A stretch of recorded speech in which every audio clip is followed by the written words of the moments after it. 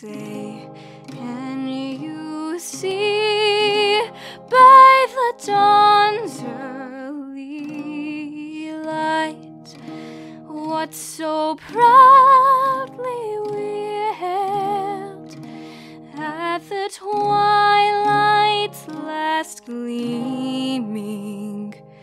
Whose broad stripes and bright stars through the perilous fight.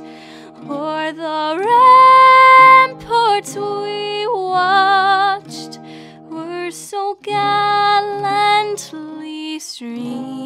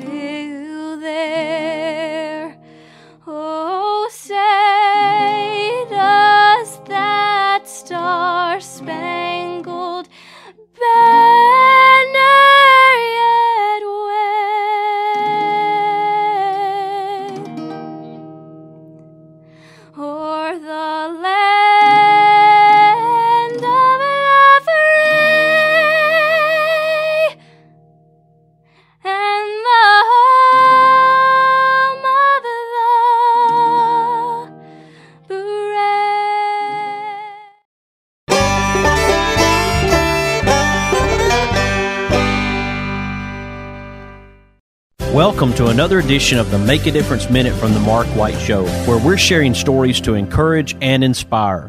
Whether you're new to aviation or an experienced pilot looking to advance your skills, Go Vertical Aviation has you covered. With an excellent learning atmosphere and a staff committed to excellence in education, Go Vertical Aviation will customize a learning program just for you. For more information, go to goverticalaviation.com or call 256 412 5226. Be sure to follow Go Vertical Aviation on Facebook, Instagram, and LinkedIn.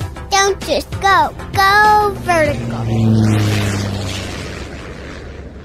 This is the Make a Difference Minute. On the Mark White Show. On this Make a Difference Minute, I have Mr. Miles Tidd. He's the father of three year old Joseph Tidd from Tiddbit Out of Hand and differentlyable.us. our experience with uh, those with disabilities or limb difference began when we found out about Joseph missing his uh, most of his forearm and, and left hand, and kind of going through the shock that that you know you kind of go through in that situation when you're at the doctor's finding out whether you're having a boy or a girl, and instead you're hearing your uh, your little boy is going to be uh, missing a hand, and at that time it seemed like a huge, huge, huge thing. I mean, just the weight of it once Joseph was born, though, and once we started to see him do everyday activities and his personality, we realized that it wasn't really a big deal. We know he is. We know he has the, the disability. We know he's missing his left hand. Um, so we are aware of it. However, we try not to, you know, make it a big deal. It's just, you know, kind of everyday stuff. But yeah, I mean, we just kind of realize as he's going through, whether it's sports, whether it's, uh, you know, he tells me he wants to be a firefighter. You know, just he, in his mind, he has no limitation. There really is no limitation for him. So it's it's definitely been humbling, but also uh, kind of a, a not really a wake up call, but just kind of a, a realization that you know it's something to be aware of, but not something to, to, to be overly concerned with. And obviously, there's different levels of disability, and you know, but for Joseph personally, it's something that we kind we're kind of just playing it by ear. Let him tell us what he needs when he needs it. I encourage you to follow Tiddbit Out of Hand on Facebook and Instagram, and also go to differentlyable.us. Be sure to follow The Mark White Show on Facebook, Instagram, and Twitter. This is Mark White encouraging you to find your purpose by making a difference in someone's life today.